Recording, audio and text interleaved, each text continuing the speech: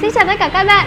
Hiện tại, món ngon Hải Phòng đã có mặt ở Chop Chef American Food số 161 đường Đà Nẵng. Anh ơi, ờ, không biết là anh có thể giới thiệu sơ qua cho em về những cái món mới của quán được không ờ, ạ? Hiện tại bây giờ quán anh ờ, mới ra thêm món mới Đó là bò sốt vang Size S là 40.000 Size M là 79.000 Món mới nữa là mì ý bò sốt vang Sốt đặc biệt. Ngoài hai món mới ra thì những cái món đặc trưng bên mình là món gì hả anh? Và những món đặc trưng hiện tại bên anh trước giờ Đó là pizza sườn sông khói BBQ, burger, hot dog và salad ăn kèm. Sườn BBQ được nấu chậm 3 đến 4 tiếng và ăn kèm sốt BBQ được anh tự nghĩ ra. Pizza Mexico đế là anh tự làm, phô mai là tự bào, sốt mọi thứ tất cả đều là handmade hết.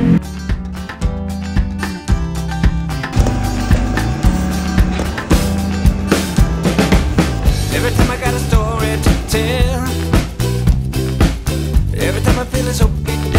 on the ground